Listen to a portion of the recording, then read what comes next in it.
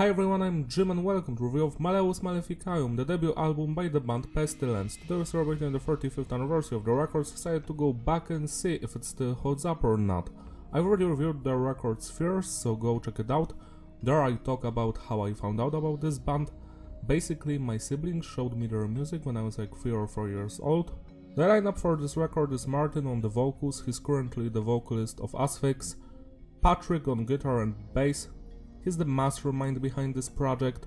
We've got also Randy, who only played guitar on this record, Marco on the drums, and Cal Trapp is the producer and he also played on the synthesizer on one of the tracks. The production here is great for its time, I actually enjoy it, it's tight, love the sound of the drums, the bass, the guitars and the vocals.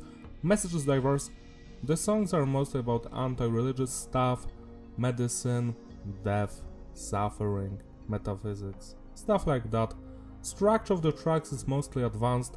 Usually we have like two or three segments that do repeat and from 3 to 5 segments that only happen once in the entire song.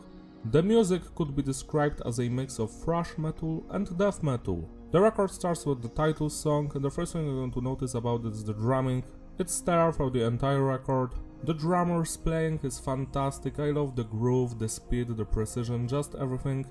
Next is the bass. It's audible and it mostly follows the guitars, but we have also lots of moments where the bass is playing his own thing, which I truly enjoy. Then we have the guitar work, and it's mostly fantastic. Love the thrashy, fast guitar riffs, but also more deathy and groovy ones.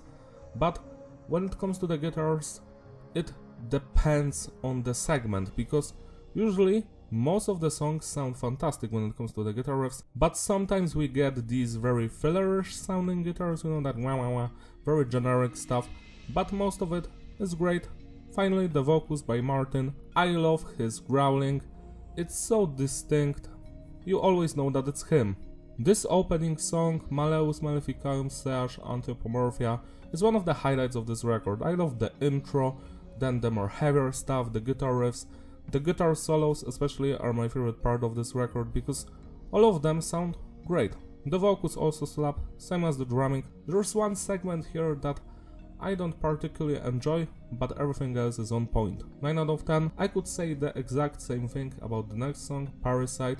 This one is also fantastic, but there's one moment before the end where I'm like, yeah, okay, fine but the rest of the song, especially the intro, slaps. 8 out of 10. Subordinate to the domination. This song, I guess, is probably the most technical one because it has lots of changes. Love the main guitar riff, the vocals, the atmosphere of this one. The guitar solos are my favorite. 8 out of 10. Extreme Unction has much more basic structure. It's also only 19 seconds long. It's fast, it's straight to the point. It's a good song, but to me personally, it's the weakest one. 7 out of 10. Commandments, now this one slaps. I love the speed and brutality of this one. It also had a music video I think. And what else can I say? It's a great song. It doesn't stand out from the rest, but it's also quite fun to listen to. 8 out of 10. Chemotherapy, another cool song. Yet again, nothing special about this one. Most of the stuff here is fantastic. Two segments not for me. This one was also re-recorded I think in 2009 and that version is interesting, that's for sure. 8 out of 10. Bacterial Surgery. Now this one, kinda similar to the previous song. Yet again, the intro fantastic, the middle part also great. Some of the parts in between, not for me, but overall, great track. 8 out of 10. Cycle of Existence. Now this is one of the highlights of this record. I love the main guitar riff, the guitar solos, the vocals, the bass lines here. Phenomenal. Same with the drumming. 9 out of 10. Osculum Infame is an instrumental piece. Love the synthesizer here. This song is different from everything else on the record. That's why it's so distinct and you remember it. 8 out of 10. And the final track, Systematic Instruction. Now this one is my favorite from the entire record. The main guitar riff just slaps. The speed, the intensity, the energy here. Love the bass lines as well, same as the drumming and the vocals. The only part I don't like is the one before the guitar solo, in the middle. Why is that guitar riff there? It's just so blunt and boring. It ruins the song because if that part was removed, I would be like, yeah, this is a masterpiece, I love re-listening to it.